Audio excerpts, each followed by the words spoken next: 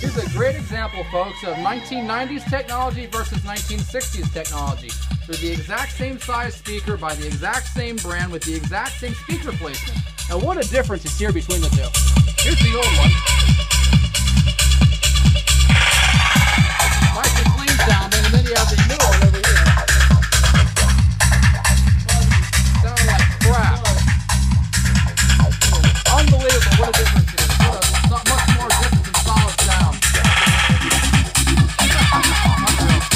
Example of 1960s build quality, 70s build quality versus 1990s build quality.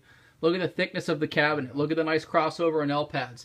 This is particle board. This is wood wallpaper. This is shit. Look at that. This is solid as a rock, dude. Look That at the just thickness fucking holy to shit. And around front here, you've got metal grills. That's metal. That's not. And this here, you have just plastic. I feel like I could break this damn thing. Look at this. Freaking junk. God. Way better separation. Way better just everything all the way around.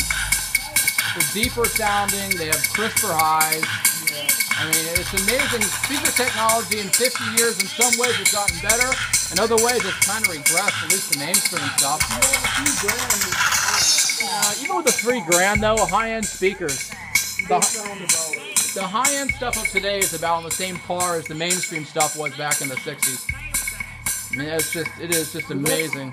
That's the real test, though, is putting everything side to side. I know. You, hear it. you won't hear it if you're used to Folks, listening. newer isn't always better, especially when it comes to speakers. Really is something there. Unreal.